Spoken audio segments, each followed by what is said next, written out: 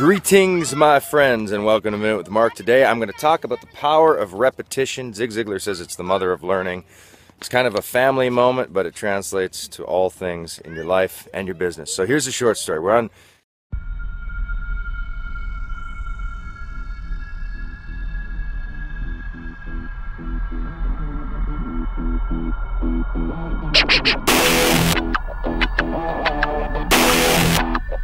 So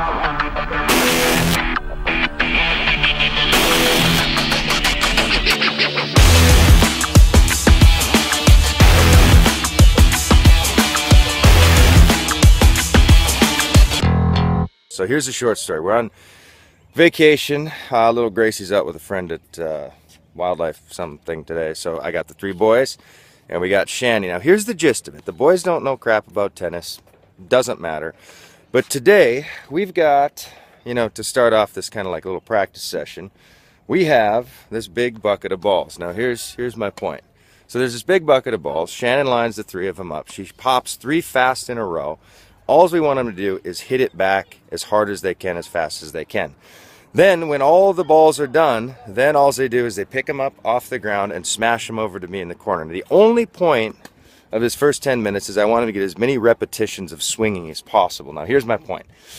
When you're doing this marketing thing, I mean, I could have had him read some kind of like meditative tennis guidebook today. We could have done like had them watch Andre Agassi films before John McEnroe films before we start, so they learn to swear and stuff like that. We could have done a bunch of things, but more than anything, I want them to get repetitions of hitting that ball over and over and over. We're not working on form. I don't care about the precision. I don't care about anything. I want them to get familiar with repetition. So, with your online business, webinars, you watch. You don't even need to watch something. You hear that webinars are good, you start doing webinars. You suck at webinars? Yes. You hear pay per click advertising on Facebook. You can buy a course, but after 10 minutes of module one, you should have an ad being placed. Is it a crappy ad? Yes. Does it work? No. Does it matter? No. because repetition is the secret. Over and over and over. You're nervous to get on the phone with a prospect. Well, I talked to thousands of dollars of leads without making a single sale Sing, not one sale, not even one. But I took notes on every single conversation. Something called MIM, mistakes I made.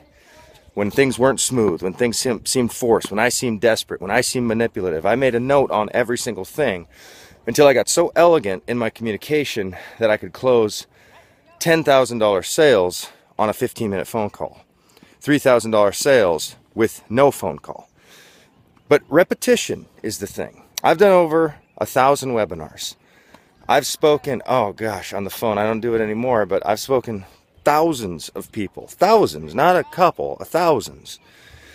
And my point is sustained repetition is better than this perfection. So by the end of this, you know, hour, these kids are going to be hitting the tennis balls better. My point, little family thing, is you want to teach your kids, you want to get them exposed to skiing, to tennis, to golf, to all the sports, to all the arts early. Because if you if they get to 20 and they haven't had exposure on a lot of this stuff, um, they're not. It's almost like they're illiterate when it comes to play, and you don't want your kid illiterate when it comes to playing. Now this is just a sidebar, but my whole point in all of this, not bad. Okay, fire these back. So now they're in the little part where all they're doing is firing them back, but the point is repetition. Whether it's baseball, getting swings in, whether it's volleyball, serves in, it just doesn't matter. Repetition. It's the same in your business. So, whatever you think you need to get better at doing, so you're not going to do it till you get better, it's oxymoronic. You keep doing it over and over and over and over and over and over and over and over and over and over and eventually you can become a master not just not just like okay but you can become literally, you should aim, and I know this sounds crazy, you should aim to be one of the best in the world. One of the very best in the world at what you do.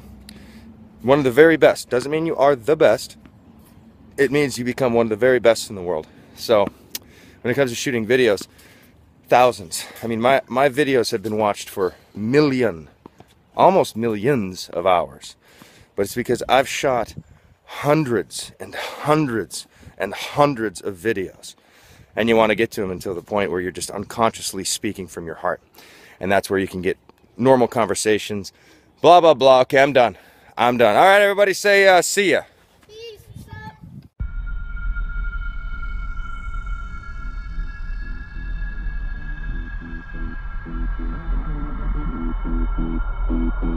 Thank